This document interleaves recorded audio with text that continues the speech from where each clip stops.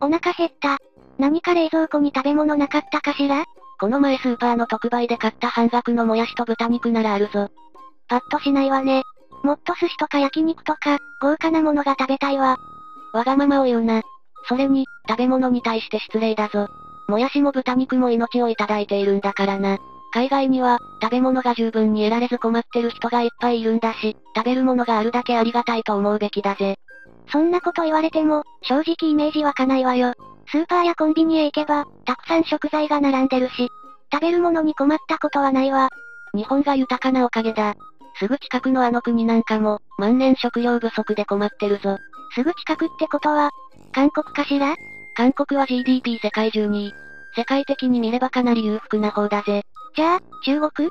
地方だと貧困層もいるけど、最近は改善してるし、国家全体で見ると貧しいとは言えないな。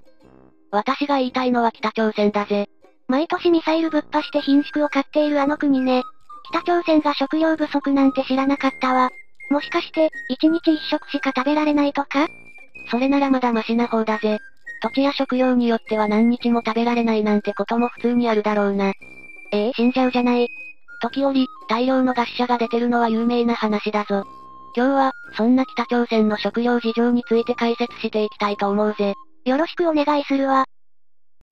冒頭でも触れたけど、北朝鮮は食料不足だというのは、イメージがつく視聴者さんも多いかもしれないな。北朝鮮は1990年代後半、相次ぐ自然災害と社会主義権の崩壊で、自国の貿易構造が崩壊したんだ。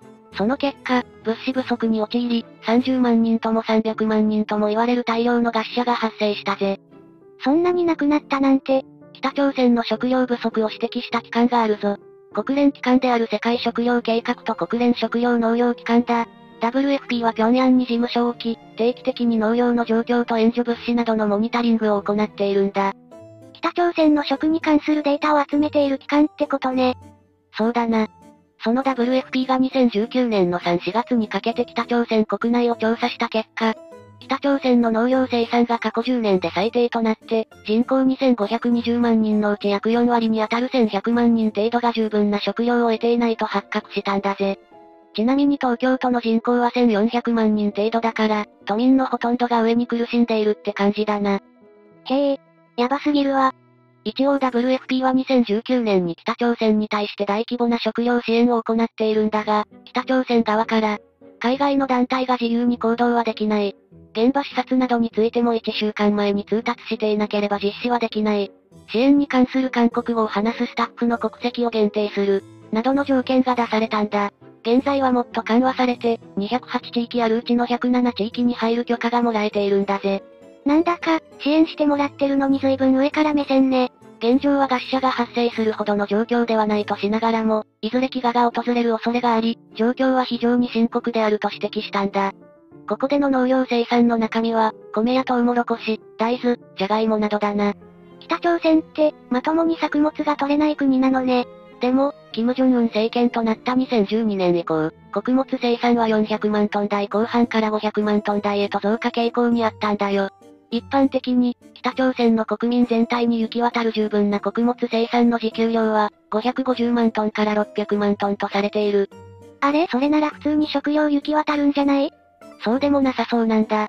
新型コロナウイルスが流行してから、北朝鮮の食料不足が深刻化しており、中国国境封鎖の影響で一部の住民は餓死寸前だとも言われているぞ。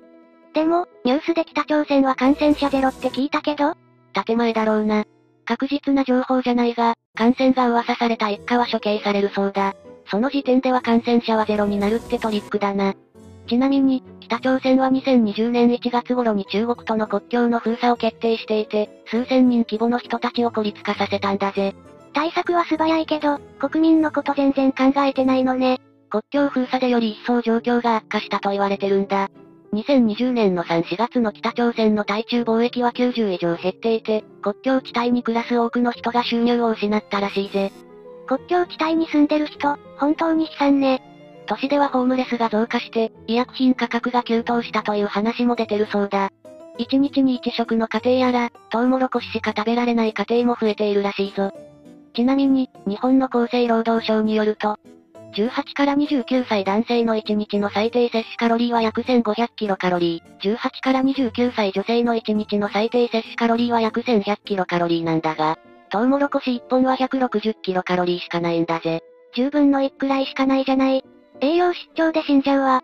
それに、成長期の子供たちも満足に栄養がいかないだろうし。深刻なのは女性だ。女性は毎月月経によって大量の鉄分が失われる。もし栄養を十分に摂取していないと、鉄分不足に陥り、月経不順やホルモンバランスによる不調、果ては月経自体が止まってしまう場合がある。妊娠していたら、もっと最悪よね。赤ちゃんに栄養を分けてあげなくちゃいけないのに、一人分も満足に摂取できないなんて。兵士たちも食料不足に苦しんでいるって言われているぜ。過酷な訓練をしているのに、ろくな飯も食えてなかったら将軍様のために働く云々の話じゃないよな。結局は力なき人々がしわ寄せを食らうのね。さらには刑務所、特に秘密収容所の状況も悪化してるんだ。聞き慣れない人は強制収容所に置き換えてもいい。それは聞いたことあるわ。とても過酷な環境だって。ああ。収容所では家畜よりもひどい扱いを受けるとも言われているんだ。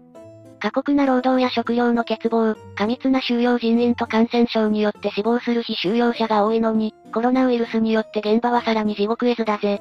同じ地球上で起こっていることとは思えないわ。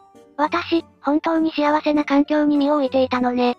北朝鮮の階層では食料を得る手段がなくって、餓死へと寸前だということは理解できたな。でも、北朝鮮って社会主義国家なんでしょう？社会主義って福祉が充実していて、どれだけ貧乏でも最低限は国家が支給してくれるシステムだと思ってたのに。戦後の日本だって配給はあったけど、それだけじゃ生き残れなくてたくさんの闇市が開かれていただろう？ソ連東欧圏が崩壊して間もなくは、配給を行う社会主義体制に対する信頼が残っていたのかもしれないけどな。ただ、現在の北朝鮮国民の中で、特に日常生活の保障という面で、体制をそこまで信じている人は皆無だと思うぜ。生きるためには、家族誰もがなりふり構わず生きるために働く。北朝鮮の国民の意識は、近年になってはっきりと変わっていると思うぜ。そもそも今も昔もあんな北朝鮮みたいな国を信じちゃダメだと思うわ。それと全国に広がった市場の役割を無視してはいけないな。国家から受け取る収入で足りない分は市場で全て賄っていたという、脱北者を対象にした調査もあるほどだ。闇市場は減っているんだけれど、政府が黙認、あるいは認めた市場は依然として健在だぜ。北朝鮮みたいなもともと貧乏な国家から受け取る収入じゃやっぱり足りないわよね。このような市場は重要な働き口を提供していて、住民らの貴重な収入源としての役割もあるんだ。キム・ジョンウン政権以降、経済が少しずつ開かれるようになってから、一般住民でも外貨収入を比較的簡単に得られるようになったぜ。出稼ぎ労働者が行ったり、逆に中国から商人がやってくることもあるんだ。キム・ジョンウン政権になってからは、以前より規制がやや緩和されたのね。多少なりともいいことだと思うわ。経済制裁で対外的な経済環境や国家による統制が厳しくなっても、自らの生活方法を変えたり、あるいは商売の方法を変えたりして、状況の変化に柔軟に対応する力を今の北朝鮮は持っているぜ。国民みんな、強くなったってことね。社会主義を現在でも標榜している北朝鮮だけど、以前の大飢餓のような時代の純粋な気持ちは誰も持っていないだろうな。誰でも食べ物は食べたいし、生き残りたいという気持ちは、当時と比べ物にならないと思うぜ。まあ、人間だから欲があって当然ね。そうだな。仮に餓死者が発生し急速に広がっていくという最悪な状況に進みそうであるなら、中国をはじめ周辺国が援助することも十分に考えられるしな。でも、北朝鮮に援助したところで、キム一族に吸い寄せられそうよね。資金的援助ならキム・ジョンウンがお金を使っちゃいそうだし、食べ物が来てもキム・ジョンウンや権力者が取っちゃったり。確かにあり得るだろう。1990年代後半の経済危機にうまく介入支援できなかったことが北朝鮮を窮地に追いやったと言われていて、それが核開発といった現在につながる強硬策に突き進んだと考えられている。これはある意味、国際社会の無理解が招いた悲劇だな。結果論かもしれないけれど、そうとも言えるわね。北朝鮮は確かに貧しい国ではあるけど、日本の中で蔓延している。北朝鮮は貧しい国だ北朝鮮といえば餓死者がたくさんという単純なイメージを持つ方がむしろ、不安定な隣国への正しい現状把握と理解ができないという問題を抱えていると言えるぜ。必要なのは、適切な知識を得ることと、思い込みを捨てることだ。そんな考え方もあるのね。ちなみに、韓国統一部のイジョンジュ報道官は2月19日の定例会見で、北朝鮮への食料支援計画の有無を問われ、現段階では具体的な支援の方法や希望を検討していない、と述べているぜ。韓国は北朝鮮に対して協力しないってこと？隣国なんだから、仲が悪くても何かしら援助をしなくてはならないと思うわ。政治は難しいんだぜ。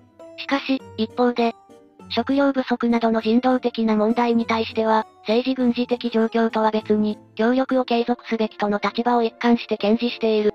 北の米や肥料などの人道的な需要を綿密に見極める、とも述べてて、支援推進に含みを持たせたぜ。北朝鮮の食料事情については、今年は100万トン以上が不足するとの見方を示したぞ。でも、韓国側としても、北朝鮮は国境を封鎖してるから、現時点で国境の状況変化や北朝鮮の貿易指針の変化などは具体的に確認できないらしいが、国境封鎖されたら何もできないわね。ロシアのムツェゴラ中北朝鮮大使は、新型コロナウイルス対策の国境封鎖が1年を超えた北朝鮮の状況について語っているぜ。物不足が深刻化し、失業者が増えていると証言したんだ。一方で、少なくとも平壌にコロナ感染者はおらず、経済崩壊の可能性はないとの認識を示しているぜ。まあ、感染者はまとめて処刑しているんだろうが。物不足もそうだけど、失業者は増えて当然そうよね。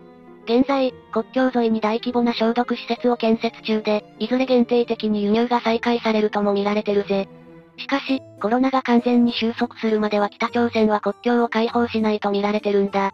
先行き不透明って感じで国民も不安だろうな。コロナウイルスばっかりは、北朝鮮当局を責められないわね。日本にとって北朝鮮は近い国だ。ミサイル発射や独裁体制などでいい見方をしていない人もたくさんいると思うぜ。